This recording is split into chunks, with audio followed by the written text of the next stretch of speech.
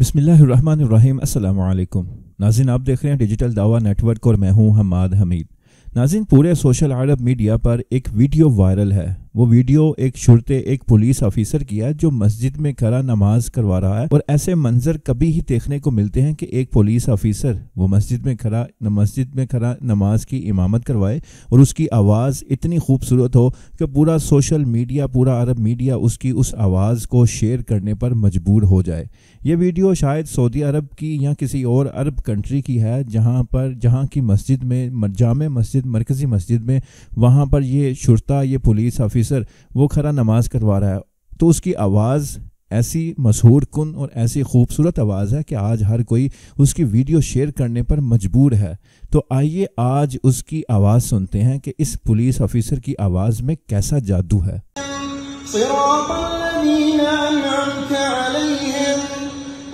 المغضوب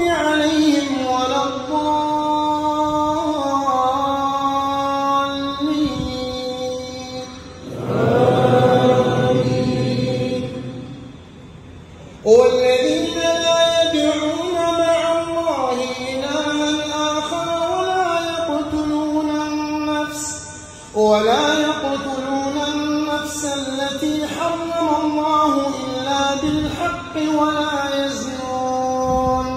ومن يفعل ذلك يلقى أثاما. يضاعف له العذاب يوم القيامة ويخلد فيه إلا من تاب وآمن وعمل عملا صالحا فأولئك سيئاتهم حسنات.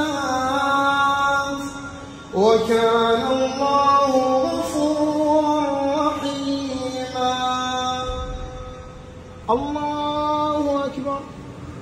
ناظرین، آپ نے اس پولیس آفیسر کی آواز سنی۔ اس آواز میں کس قدر درد تھا، اس کی آواز جو قرآن مجید کی وہ تلاوت کر رہا تھا، اس تلاوت کے دوران جس قدر جس قدر آیت غمگین تھی، عذاب والی تھی، تو اس کا لہجہ بھی ویسے ہی غمگین اور رونے والا ہو جاتا لوگوں کو رلا دینے والا ہو جاتا۔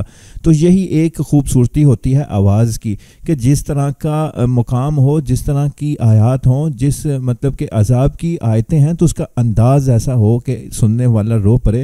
اور اگر جنت کا مقام ہو، جنت کی آیتیں ہوں، مسلمانوں کے لیے خوشخبریاں ہوں، تو اس کا لہجہ ایسا ہو کہ وہ خوشی والا ہو۔ تو یہی ایک قرآن پڑھنے کا ایک خوبصورت انداز ہے۔ تو اسی انداز کے ساتھ، خوبصورت قرات کے ساتھ، تجوید کے ساتھ اس شرطے نے، اس پولیس آفیسر نے تلاوت قرآن مجید کی نماز کی امامت کروائی۔ تو پورا عرب ہی اشش کر اٹھا۔